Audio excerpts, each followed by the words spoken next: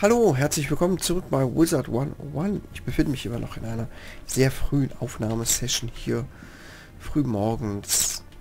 Schön, dass ihr dabei seid. Auch wenn wir jetzt hier nur ein paar Straßenkämpfe machen müssen. Wir sind es ja gewohnt, ne? Oha, Giftquetzals haben 3800 Lebenspunkte. Hatte schon ich habe den Namen vergessen. Sorry. Es schreiben so viele Leute Kommentare. Hat jemand anderes kommentiert, dass in äh, Chrysalis die Gegner, die Straßengegner so um die 6000 ähm, Lebenspunkte haben. Das ist natürlich ziemlich assi.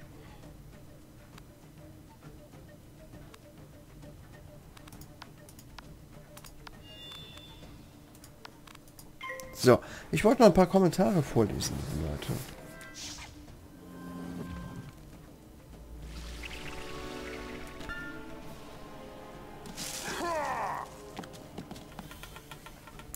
Und da ja auch einige Leute dabei sind, äh, das habe ich auch schon in der vorletzten Folge gesagt, die neu sind, die auch nicht alle Folgen geguckt haben. Und ich immer wieder die Frage komm, bekomme, kannst, kannst du mich mal grüßen? Ich habe vor einigen, einigen Folgen, vor ein paar hundert Folgen, habe ich immer alle Leute gegrüßt. Das war vor allem, hatte sein Hochpunkt, seine Hochzeit. Oh, als ich in Maliborn war. Mann. Und dann habe ich die Leute gegrüßt, der Reihe nach. Ich habe mir aufgeschrieben, wer alles gegrüßt werden will, habe die ganzen Sachen vorgelesen. Zum einen gab es dann immer Beef unter in den Kommentaren unter den Videos. Ey Leute, was bringt euch das immer gegrüßt zu werden? Ihr seid so behindert. So diese andere Fraktion, die dann die anderen Leute dafür angemacht haben. Auch blöd. Ähm, ja, und die Leute, die ich dann vergessen habe. Ey, ich sag dir schon so lange, dass du mich grüßen sollst. Und da kommen immer und immer mehr Leute, die gegrüßt werden wollen. Und es gab immer irgendwie nur beleidigte Gesichter. So dass es irgendwann gelassen habe. Was auch irgendwie ein bisschen Quatsch ist. So, und seitdem grüße ich keinen mehr. Die Alteingesessenen wissen das schon längst, ähm, aber viele neue wissen es noch nicht. Ne? Also damit sei das gesagt, ich grüße keinen mehr aus genau diesen Gründen. Ich grüße vielleicht noch jemanden aus einem besonderen Anlass. Aber ich meine, was soll das? Ist auch irgendwie albern, oder diese Grüßerei.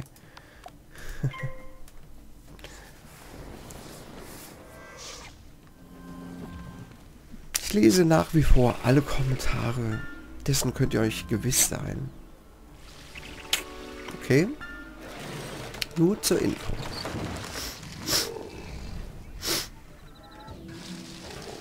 So, aber ich wollte jetzt ein paar Kommentare vorlesen.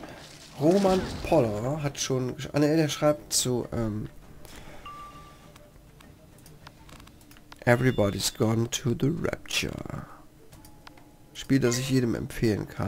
Habe ich darüber schon gesprochen. Everybody's Gone to the Rapture läuft gerade auf meinem Kanal. Kann ich extrem empfehlen. Da passiert nichts, keine Angst. Keiner wird erschossen. Äh, niemand wird aufgeschleppt. Das kann sich jeder angucken. Ist halt eher eine Geschichte, die erzählt wird. Ein Walking Simulator, so ein bisschen. Spielerisch gibt es für mich da nicht viel zu tun. Aber es gibt eine interessante Geschichte, eine etwas bedrückende Geschichte zu entdecken. Guckt es euch an, wenn ihr gute Stories mögt. So, dazu schreibt Roman Poller zur letzten Folge blutige Taschentücher. Wow, das ist das einzige Blut, was man bisher sieht in dem Spiel. Bin echt gespannt, was da los ist und freue mich schon auf den nächsten Part. Das Spiel scheint zwar ungewöhnlich, aber hochinteressant zu sein.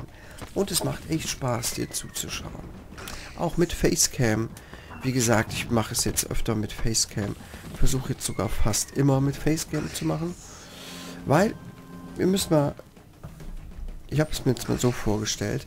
Es läuft auf meinem Kanal nicht besonders gut. Nach fünf Jahren. Nach dem Kampf fliehen die Giftquetzals in diese Höhle dort. Vielleicht bewahren Sie da Ihre Fundsachen auf? Nach fünf Jahren aktiven Let's Plays und nach fast zehn Jahren Kanal Killed Kaius habe ich 6.500 Abos. Das ist ein Witz. Wirklich, ist einfach so. Auch wenn es für manche von euch viel klingen mag. Deswegen habe ich gedacht, was, was gucke ich mir eigentlich an? Was gucke ich mir eigentlich an? Bei welchen Let's Play Sachen bleibe ich hängen? Ich gucke mir keine Let's Plays mehr an. Großartig. Wo keine Facecam ist. Weiß auch nicht, ich finde es irgendwie nicht mehr so spannend. Es sei denn, das Spiel interessiert mich brennend. Dann gucke ich es mir trotzdem an. Aber so ein reguläres Let's Play. Wenn jemand jedoch eine Facecam hat. Hallo! Dann bin ich schon eher geneigt, hängen zu bleiben. Zu sagen, oh ja, interessant. Jetzt sehe ich noch diesen Typ oder diese äh, Frau. Gibt es ja eher seltener auf YouTube als Let's Playerinnen, die das da machen. Gucke ich mir gerne mal an. So, wir gehen hier direkt in den Endgegnerkampf. Oh, Moment. Ganz langsam, ganz langsam. Jetzt wäre ich fast mit dem Hauptkartenspiel reingegangen. Weil ich wieder so viel laber. So.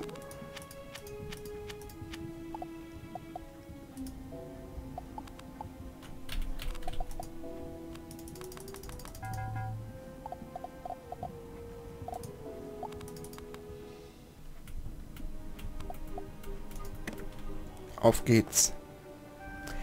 Ähm, ich werde diesen Kampf unterbrechen und dann in der nächsten Folge fortsetzen.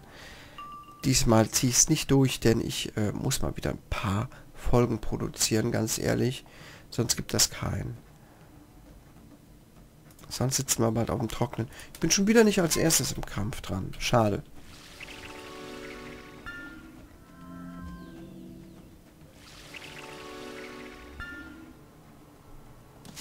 Deswegen, um nochmal von dem Thema zu reden, von dem ich gerade eben gesprochen habe, produziere ich mehr Dinge, die ich mir selber auch angucken würde einfach. So zusammengeschnittene Sachen gucke ich mir gerne an. Let's Plays mit Facecam gucke ich mir gerne an. PewDiePie gucke ich mir gerne an. Der macht's richtig. Kein Wunder, dass der Junge 45 Millionen Abos hat. Ne? Es ist jetzt nicht so, dass ich bei PewDiePie abgucke. Auf keinen Fall. Weil ganz so möchte ich es nicht machen und bekomme ich es auch nicht hin.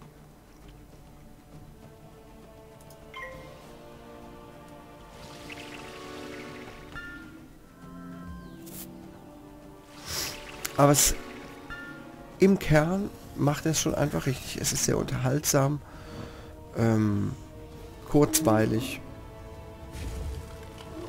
Aber dann spielt er zwischendurch auch tatsächlich Let's Plays, die über 20 Minuten Parts äh, voll machen pro Folge.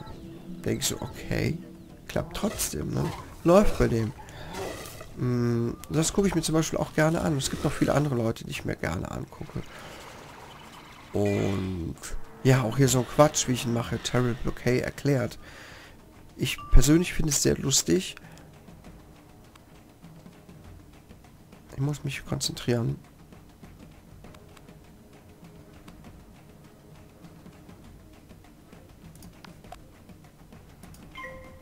Und sowas würde ich mir selber auch angucken. Yes. Ich gucke mir zum Beispiel auch sehr, sehr gerne die Videos von David Hein an von seinem Kanal Behind. Ähm, ausgezeichnet. Ausgezeichnet. Fast jedes Video, das er ähm, produziert und veröffentlicht, ist sehenswert. Boah, was war das denn jetzt? Wirklich, der Junge, der Junge, der gibt sich richtig, richtig viel Mühe. Und den kann ich einfach nur bedingungslos empfehlen. Der macht einfach genau sein Ding, der macht genau das, worauf er Bock hat.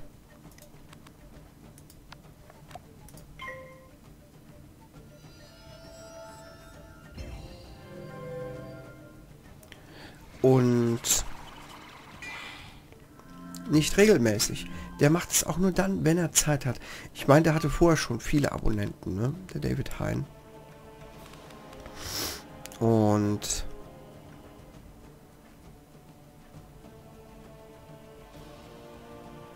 fuck irgendwie hier, oder? So, dann kann jetzt schon als nächstes Siegfried kommen. Der kann es sich natürlich erlauben. Der hat schon über 250.000 Abonnenten vorher, glaube ich. Und als er, als er seinen Kanal umgebrochen hat quasi, als ein Umbruch stattfand.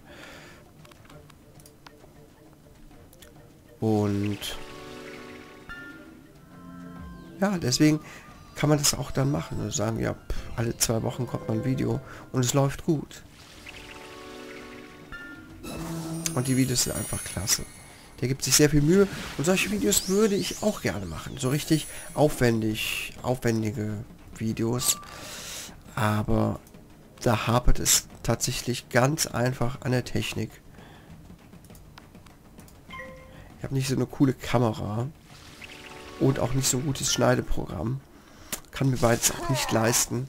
Deswegen so toll wird es dann nicht. Also so wie bei ihm. Aber irgendwann, weiß nicht, wann ich damit endlich loslege, werde ich auch etwas aufwendigere Videos produzieren. Also abseits von Let's Plays.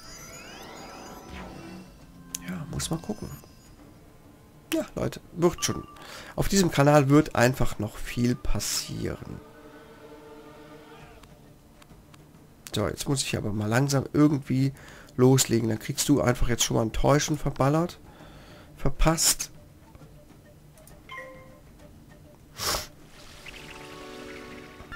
Ich hätte jetzt gern ein Ifrit, habe leider keinen mehr als Goldkarte.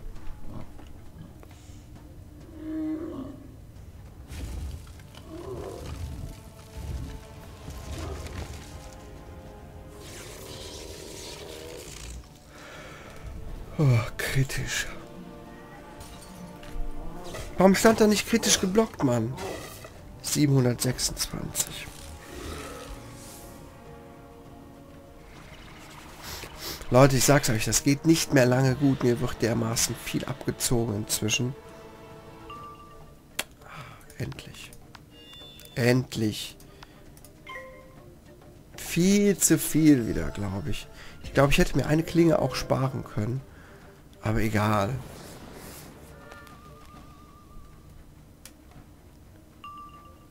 Boah, leck mir die Füße runter. Ich glaube es nicht. Das ist doch nicht wahr, oder? Ich finde das einfach mega unfair. Das macht mich so sauer. Das macht mich so sauer. Naja, dann widmen wir uns lieber noch einem Kommentar. Auch wenn ich das hier echt im Auge behalten muss. Ah, fuck you! Mach ihn fertig! Zwar ohne Faust, aber es wird schon gehen.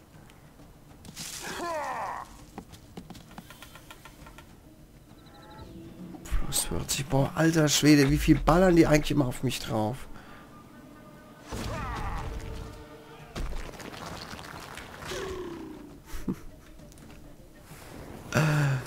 971. Ich kann jetzt gerade nicht vorlesen. Ich muss mich hier drauf konzentrieren. Gut.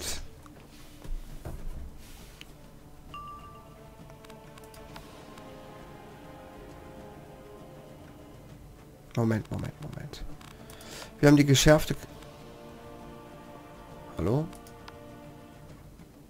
Ach, das ist von meinem Haustier. Gut, ich werde mich jetzt erstmal heilen. Ach, ich hätte mir auch mal ein Schild machen können erstmal. Hm. Konzentration, Kaios. Echt. Sonst machst du hier nur Murks. Kritisch. Danke.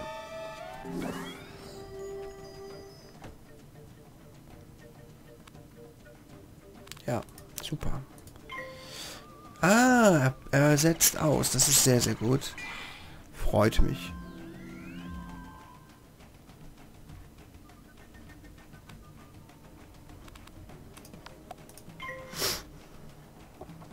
Müssen uns ja echt schützen vor dem, ne? Irgendwie hauen seine verfluchten Angriffe richtig rein. Aber das ist jetzt ein normaler Angriff. Minus 70%. Das können wir gut wegstecken. Das ist natürlich witzig. Ach, ist das witzig. Es ist so lustig. Wir sehen uns in der nächsten Folge wieder. Vielen Dank fürs Zusehen, liebe Leute. Macht's gut. Ciao.